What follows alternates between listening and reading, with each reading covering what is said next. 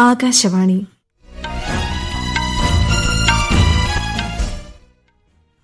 നമസ്കാരം. വാർത്തകൾ. വായിക്കുന്നത് പ്രവീണ പ്രകാശ്.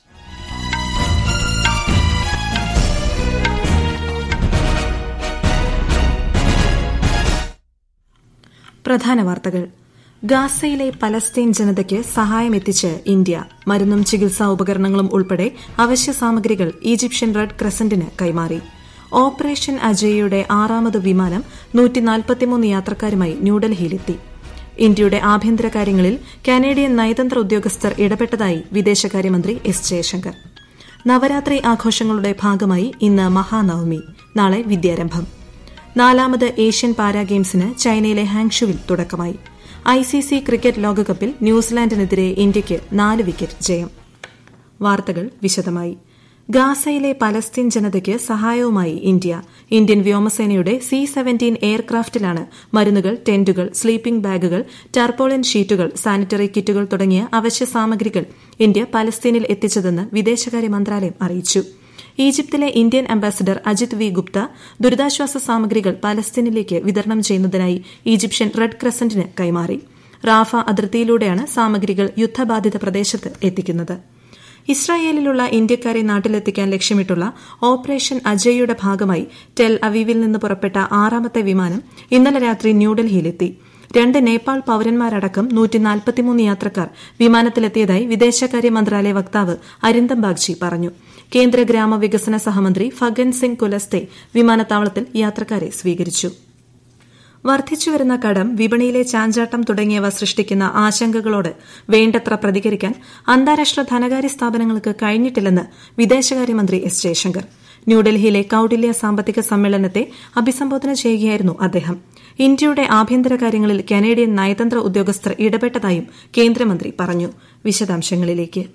ലോകം കൂടുതൽ ആഗോളവൽക്കരിക്കപ്പെട്ടിരിക്കുകയാണെന്നും എന്നാൽ പ്രാദേശിക ശക്തികൾ ആഗോള ശക്തികൾക്ക് വെല്ലുവിളി ഉയർത്തുകയാണെന്നും വിദേശകാര്യമന്ത്രി എസ് ജയശങ്കർ പറഞ്ഞു. കാലാവസ്ഥാ വ്യതിയാനത്തിന്റെ ദോഷകരമായ ഫലങ്ങൾ അന്താരാഷ്ട്ര സമ്പദ് വ്യവസ്ഥയെ സാരമായി ബാധിക്കുകയാണെന്നും അവ ഉൽപാദന ചെലവ് വിതരണ ശൃംഖല എന്നിവയെ ബാധിക്കുകയാണെന്നും ശ്രീ ജയശങ്കർ അഭിപ്രായപ്പെട്ടു.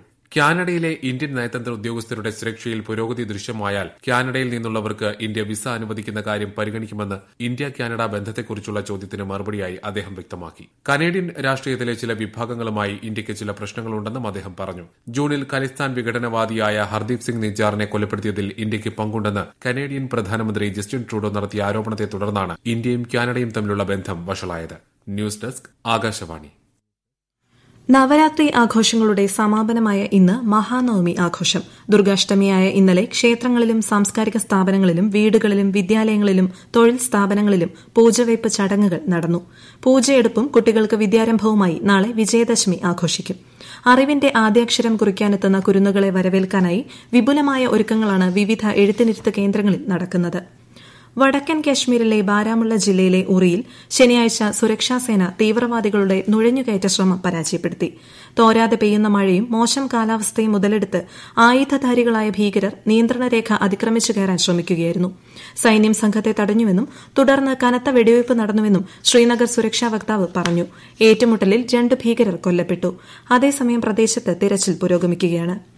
ഡൽഹിയിൽ വായുവിന്റെ ഗുണനിലവാരം വളരെ മോശം വിഭാഗത്തിലേക്ക് കൂപ്പുകുത്തി.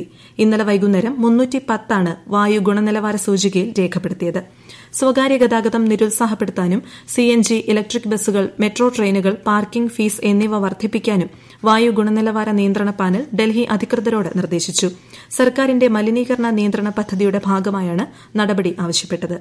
അടുത്ത വർഷം ഫെബ്രുവരി പത്തൊൻപത് മുതൽ ഇരുപത്തിയേഴ് വരെ വിശാഖപട്ടണത്ത് നടക്കുന്ന Milan twenty four mid planning സമ്മേളനത്തിന് ഇന്ത്യൻ നാവികസേന ആതിഥേയത്വം വഹിക്കും. നാവികസേന യൂണിറ്റുകൾക്കൊപ്പം കപ്പലുകളും മാരിടൈം പട്രോളിംഗ് വിമാനങ്ങളും അന്തർവാഹിനികളും പരിപാടിയിൽ അണിനിരക്കും.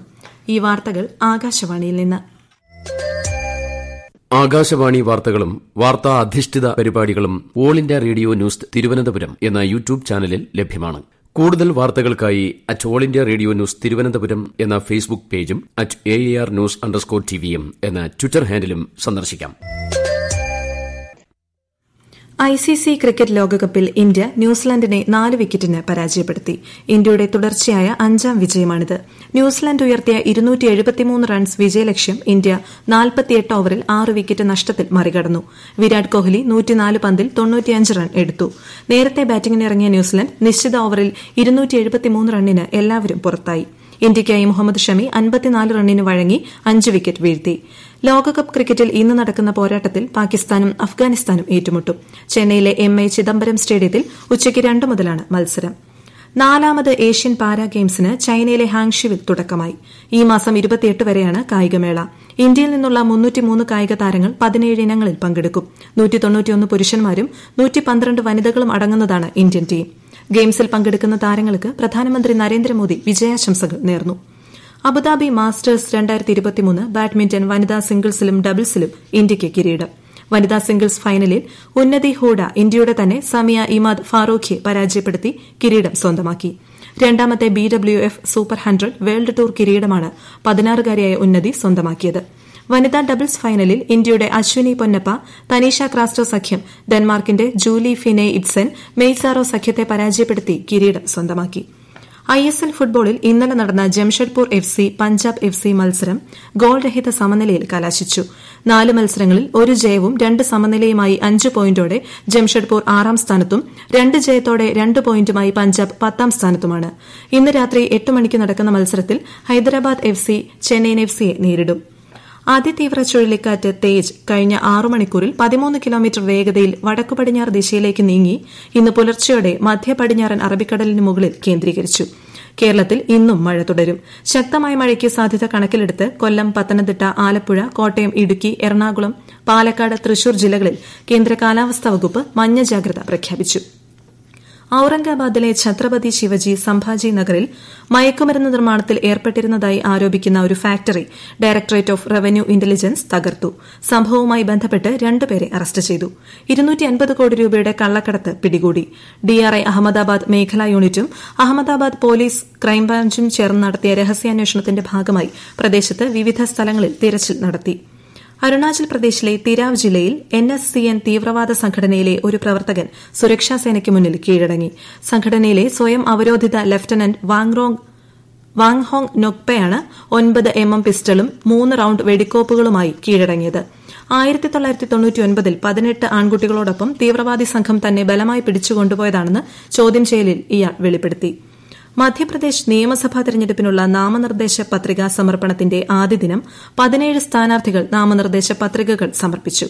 സംസ്ഥാനത്തെ നിയമസഭാ മണ്ഡലങ്ങളിലും അടുത്ത മാസം പതിനേഴിന് ഒറ്റഘട്ടമായാണ് വോട്ടെടുപ്പ്. ഡിസംബർ ഒന്നിന് വോട്ടെണ്ണൽ നടക്കും.